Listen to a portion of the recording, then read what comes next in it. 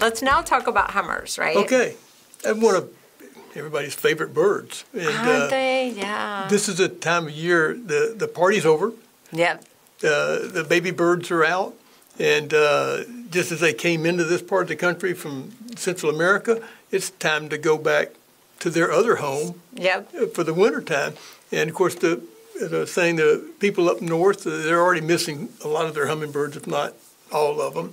Uh, and as we move further south, we're seeing more and more birds because all their birds are coming through it. And I kind of like that. It's kind of fun. And so we'll see a surge of birds for a while. As we get into October, that'll taper off somewhat rapidly.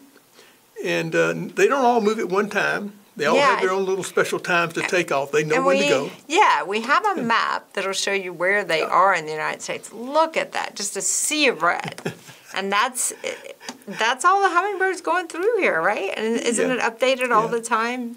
As you can see, there's very few up in Canada, but there's some up there. There's some hummingbirds all the way up into Alaska on the west coast, and they come all the way back Oh down. yeah, I didn't notice that. Oh, yeah, yeah, yeah. they're all there. And- but you know what? They're not in these, and they're not much in the Not Pacific so Northwest.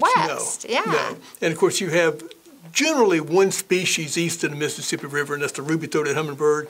And west of the Mississippi River, in general, you have all the other species. There's you know, uh, 12, 13, uh, 14, 8, 15 more uh, Yeah. that are there a lot, and a few odds and ends that sneak in across the border down there. And every now and then a stray, Yeah. which gets everybody excited, something that shouldn't be here at all. But yeah, the ruby throats uh, look like they're taking over the eastern United States. Yeah, they do. And, And- they're beautiful right now. And they're tanking up, as you like to say. So keep Yeah. that nectar out and keep it fresh, right? Yeah, now they've got to they've got to keep a lot of fuel on board because there's a long way to get back home, which is Central America, and uh, the ones on the East Coast typically come down and go across the Gulf of Mexico nonstop to get down to Central America. The ones in you know further west, uh, mostly go down and go down through Texas. Yeah. And then uh, Mexico to get down there, or maybe Yeah. just skirt the Gulf. Yeah. But the ones that leave from over here, if they're from the Atlanta area and go down, like they're going down to the Gulf of Mexico That for a vacation, journey. they've got Yeah. a nonstop flight all the way across. I've heard that cruise ships and other ships will put things out so that they can rest, so they can stop and, and, rest. they will do that occasionally. Yeah. Yeah. And uh, but they can do this, and they tank up. Uh, like a ruby throat will weigh, you know, two and a half to three grams. Yeah. It's a good sized ruby throated hummingbird. And but this time of year, when they're ready to go and take this southern flight, they have sat around, lounged around. and sucked up as much juice as possible, and, and insects, of course, because that's their Yeah. real food. And to, spiders, To pack right? on the weight, and spider, lots of spiders. They love spiders and eat a lot of them. As go around flowers, they're picking out the spiders. Yeah. And then, of course, the hummingbird juice is just uh, their extra fuel. But they'll they'll burn off a lot of their weight, maybe up to half of their body weight on that one flight. Wow. So it's uh, it's an amazing thing. Yeah, and then they get down there and they'll rest and eat and pack on weight down there to fly back.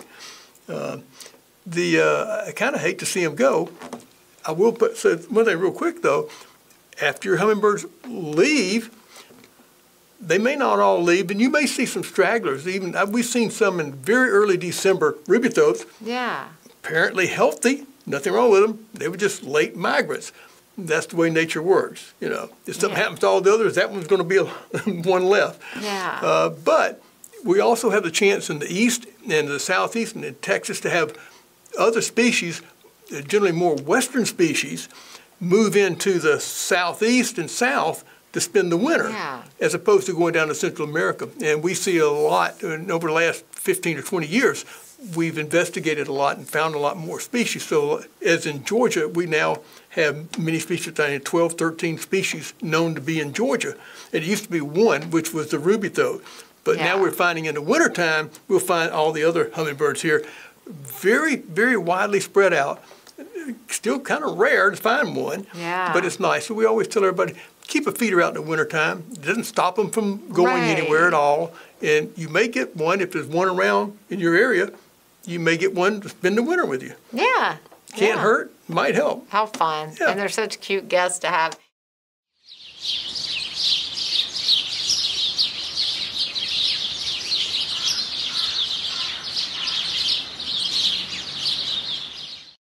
Hello, this is Richard Cole. I want to thank each of you for watching, and I want you to subscribe to our YouTube channel, and don't forget to share it.